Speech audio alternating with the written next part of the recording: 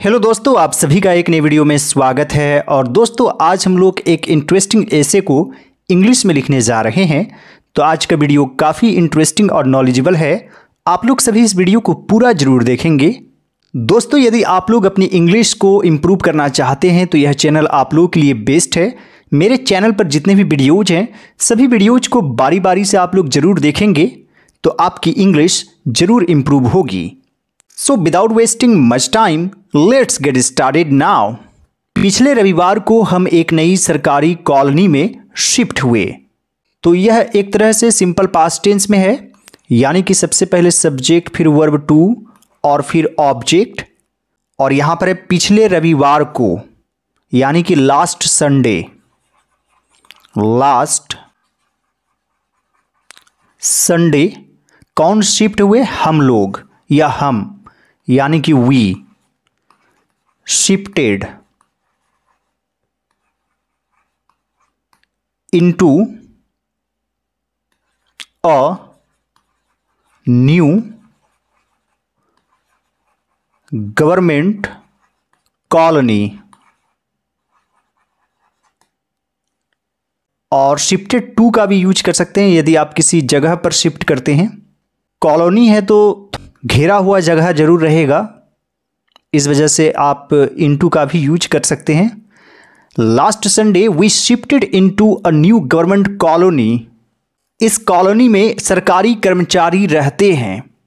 तो यहाँ पर है रहते हैं, यानी कि सिंपल प्रेजेंट टेंस सबसे पहले सब्जेक्ट फिर वर्ब इसमें एस या एस लग सकता है, और फिर ऑब्जेक्ट तो कौन रहते हैं? सरकारी कर्मचारी। ये क्या है? सब्जेक्ट तो यहाँ पर लिखेंगे the government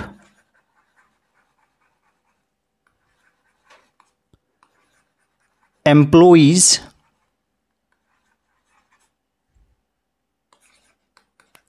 live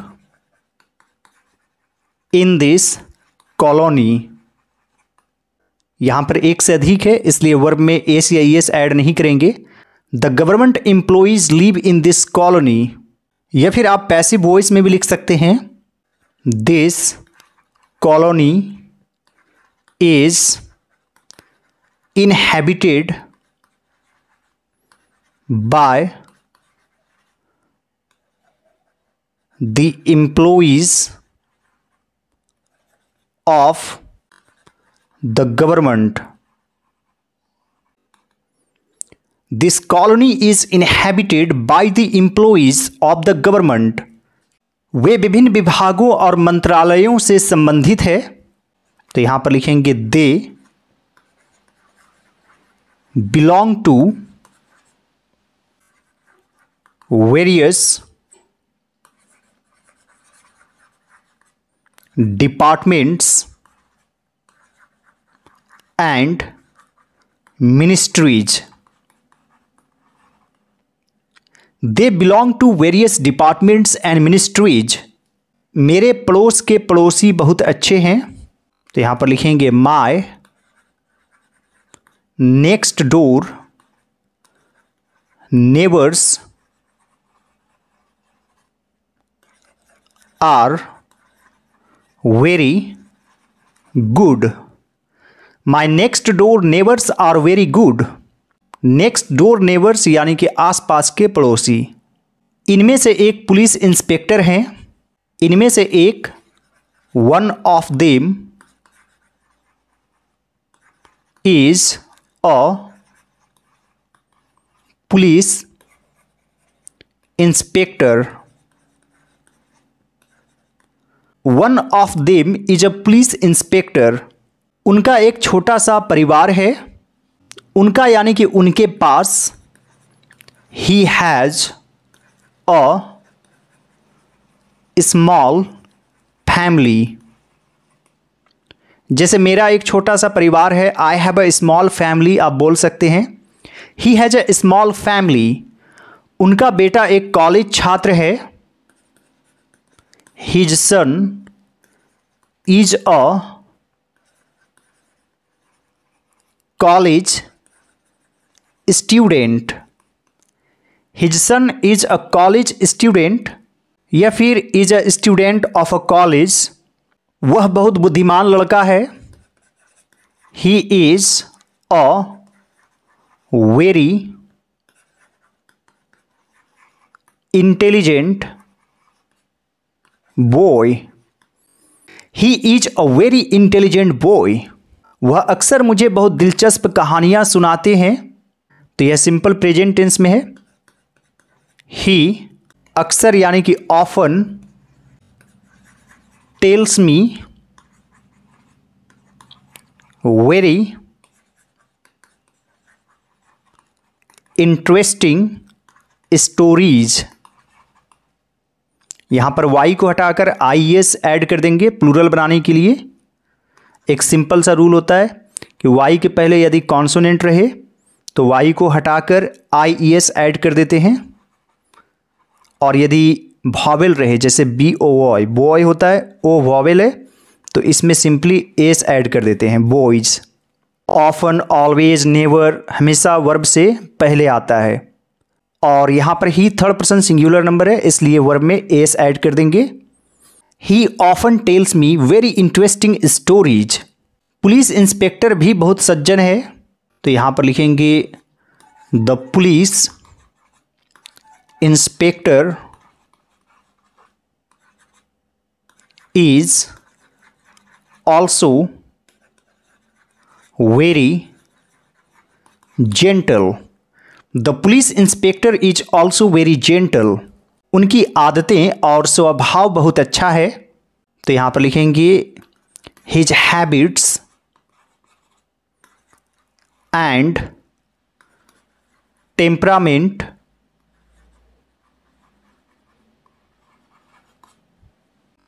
या फिर nature are very good his habits and temperament are very good वह खुद को कानून और व्यवस्था का संरक्षक मानते हैं। तो यहाँ पर मानना के लिए हम लोग कंसीडर यूज़ करेंगे। जैसे तुम खुद को क्या समझते हो? What you consider yourself what you think of yourself भी आप कह सकते हैं। तो खुद को मानना यानी कंसिडर करना। तो यह भी है सिंपल प्रेजेंट टेंस में। तो यहाँ पर लिखेंगे he considers himself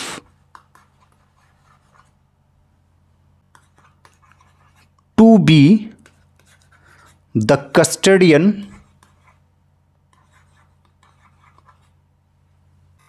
of law and order. मान लीजिए आप टू बी नहीं भी लिखते हैं तो भी चलेगा। He considers himself to be the custodian of law and order वह कभी भी अपनी शक्तियों का दुरुपयोग नहीं करते हैं, लेकिन हमेशा दूसरों की मदद करते हैं। तो यहाँ पर लिखेंगे he never misuses his power आप पावर्स भी लिख सकते हैं but always helps others he never misuses his powers but always helps others उनकी पत्नी एक धार्मिक प्रवृत्ति की महिला है तो यहाँ पर लिखेंगे his wife is a religious type of या फिर सॉर्ट ऑफ़ लेडी अब डायरेक्ट लिख सकते हैं his wife has a religious bent of mind यानी कि धर्म की तरफ़ झुकाव है, एक तरह से धार्मिक महिला है, बेंट का अर्थ हुआ झुकाव होना, उतारू होना, जैसे वह झगड़ने पर उतारू है he is bent on fighting इंसान एक दूसरे को मारने के लिए क्यों उतारू है? Why is man bent on killing each other आप इस तरीके से भी बोल सकते हैं, धार्मिक के लिए आप पायस का भी यूज़ कर सकते हैं। His wife is a pious lady एक धार्मिक महिला है। His wife has religious bent of mind वह सभी की मदद करती हैं। She helps everyone she helps everyone हमारे सामने का घर एक स्कूल के प्रिंसिपल का है। तो यहाँ पर लिखेंगे, the house in front of us belongs to the principal of a school. The house in front of us belongs to the principal of a school वे एक बूढ़े व्यक्ति हैं, उनकी उम्र पचास वर्ष है। He is an old man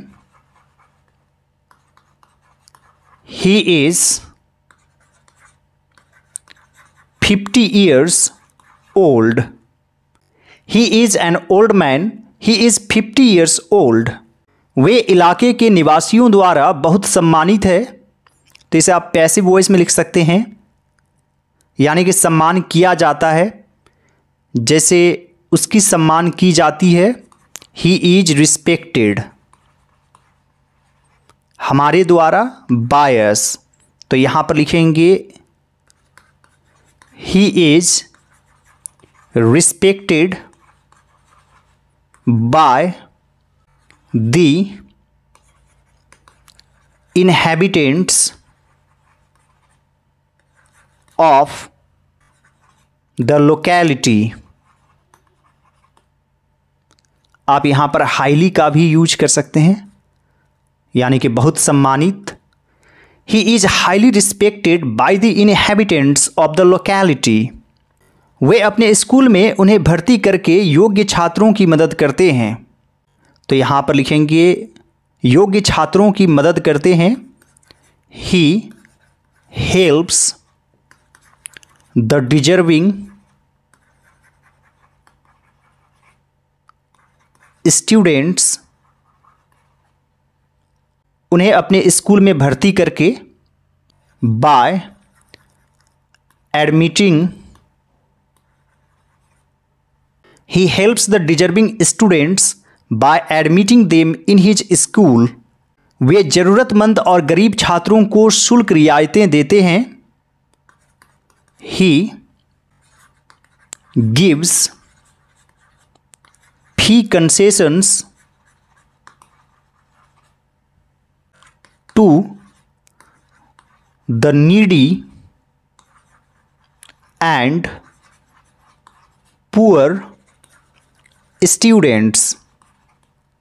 He gives fee concessions to the needy and poor students उनका दो बेटों और एक बेटी का एक मध्यम आकार का परिवार है। तो यहाँ पर लिखेंगे he has a medium sized family of two sons and a daughter. He has a medium sized family of two sons and a daughter. वे बहुत मदद करने वाले प्रकृति के हैं या नेचर के हैं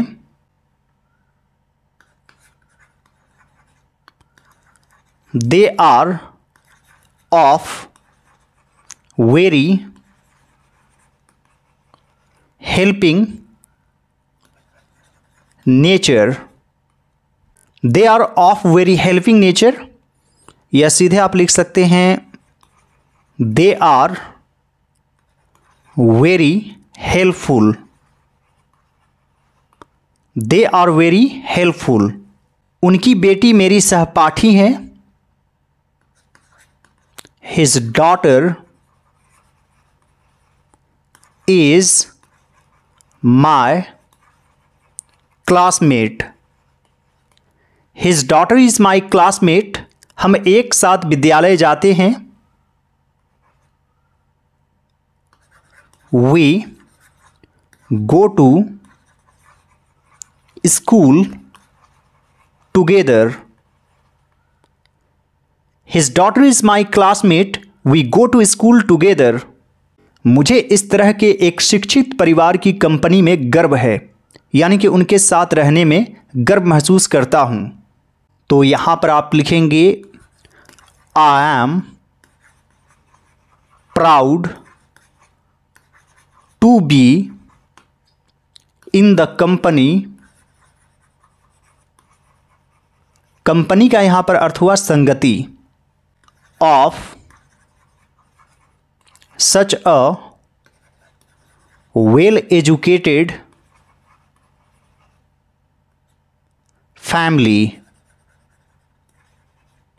I am proud to be in the company of such a well educated family हमारे घर के पीछे रहने वाला परिवार एक बुरा परिवार है। तो यहाँ पर लिखेंगे the family that lives at the back of my house is a bad family. The family that lives at the back of my house is a bad family. इस परिवार के सदस्यों को अच्छे शिष्टाचार और विनम्र व्यवहार के बारे में बहुत कुछ सीखने की ज़रूरत है जैसे मुझे सीखने की ज़रूरत है आई नीड टू लर्न तो यहाँ पर है, इस परिवार के सदस्यों को यह है subject the members of this family और संख्या एक से अधिक है, इसलिए नीड लिखेंगे. Need to learn a lot about good manners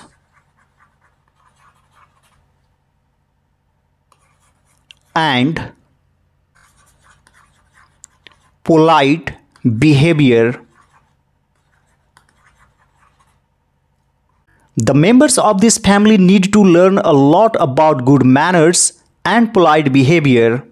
परिवार का प्रमुख केंद्र सरकार के साथ एक सहायक है the head of the family is an assistant with the central government. The head of the family is an assistant with the central government. उसका व्यवहार असभ्य है His behavior is impolite. या फिर आप कह सकते हैं इनसिविलाइज्ड या फिर आप कह सकते हैं rude his behaviour is rude उन्होंने तुच्छ चीज़ों पर कई लोगों के साथ झगड़ा किया है। यह प्रेजेंट परफेक्ट टेंस में जैसे वह गया है। ही हैज़ गोन तो उन्होंने झगड़ा किया है। ही हैज़ क्वरल्ड कई लोगों के साथ विद मेनी पीपल तुच्छ चीज़ों पर ओवर ट्रिवियल या फिर पेटी थिंग्स ट्रिवियल यानी कि छोटी मोटी बात, या पेटी, यानी कि जो अनइम्पोर्टेंट है, तुच्छ है। He has quarrelled with many people over trivial things उनके बच्चे बहुत शरारती हैं। He children are very mischievous his children are very mischievous उनकी माँ भी एक भयानक महिला है। Their mother is also a terrible lady their mother is also a terrible lady वह अक्सर अपने बच्चों को डांटती है। She often scolds her children. She often scolds her children. अधिकांश लोगों का इस परिवार के साथ बातचीत नहीं होती है तो यहाँ पर लिखेंगे मोस्ट ऑफ़ द पीपल आप यहाँ पर लिख सकते हैं of this locality are not on speaking terms with this family. On speaking terms यानी बातचीत होना. ऑन विजिटिंग टर्म्स यानी कि आना जाना होना. जैसे मेरा उनके यहाँ आना जाना नहीं होता है we are not on visiting terms with them और हमारा उन लोगों के साथ बातचीत नहीं होता है। We are not on speaking terms with them most of the people of this locality are not on speaking terms with this family लेकिन मेरे अधिकांश पड़ोसी मेरे दोस्त हैं। तो यहाँ पर लिखेंगे but most of our neighbours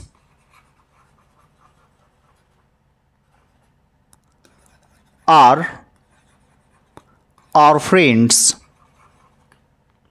but most of our neighbors are our friends वे सामाजिक हैं और मदद करने की सोच रखने वाले हैं they are social and of helping nature they are social and of helping nature कभी कभी पड़ोसी रिश्तेदारों से भी ज़्यादा मददगार होते हैं। Sometimes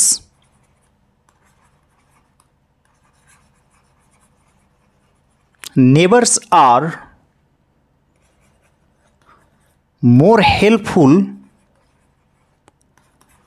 than relatives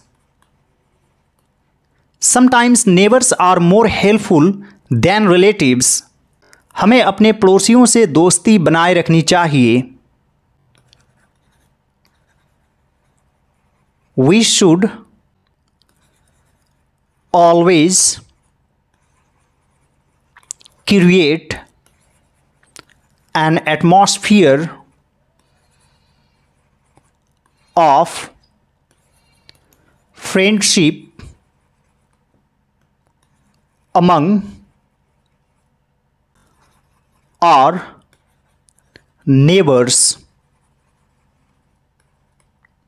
आप शॉर्ट में भी लिख सकते हैं we should always maintain friendship among our neighbours या फिर we should always create an atmosphere of friendship among our neighbours यानी कि हमारे पड़ोसियों के बीच दोस्ती का वातावरण हमेशा क्रिएट करके रखना चाहिए। We should always create an atmosphere of friendship among our neighbours I hope friends आज का वीडियो आप लोगों को अच्छा लगा होगा। यदि यह मेरा एफर्ट आप लोगों को अच्छा लगे तो इस वीडियो को लाइक कर दीजिएगा।